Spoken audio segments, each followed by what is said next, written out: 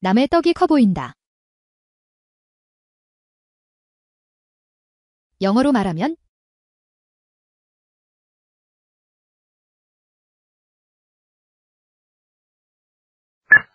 이 문장은 아래처럼 바꾸어 말해야 합니다. 푸른 담장 다른 쪽이 더 푸르러.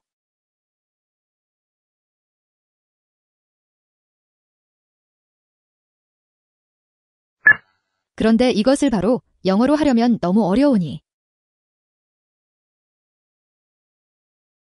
원어민처럼 순서대로 영어 순역을 만듭니다.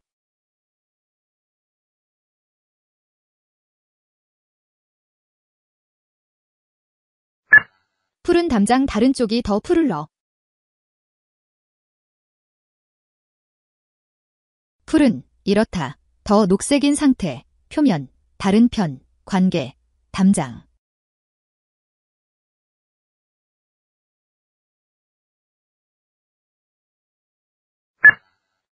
이제 영어로 바꾸면 됩니다. 푸른, 이렇다. 더 녹색인 상태, 표면, 다른 편, 관계, 담장. The grass is greener on the other side of the fence.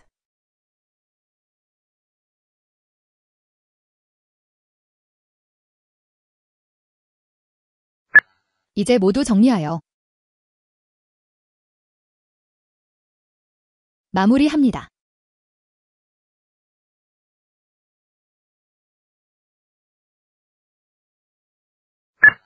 남의 떡이 커 보인다. 푸른 담장 다른 쪽이 더 푸르러.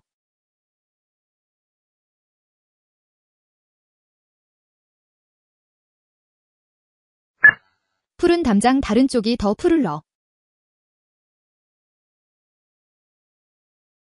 푸른, 이렇다. 더 녹색인 상태, 표면, 다른 편, 관계, 담장.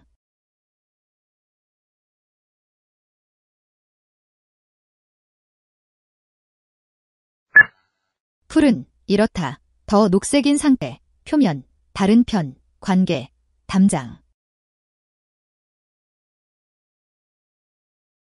The grass is greener on the other side of the fence.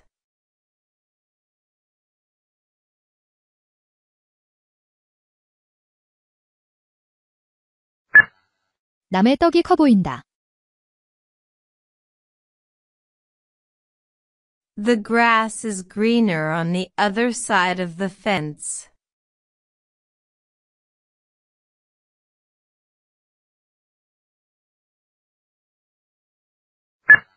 남의 떡이 커 보인다. The grass is greener on the other side of the fence.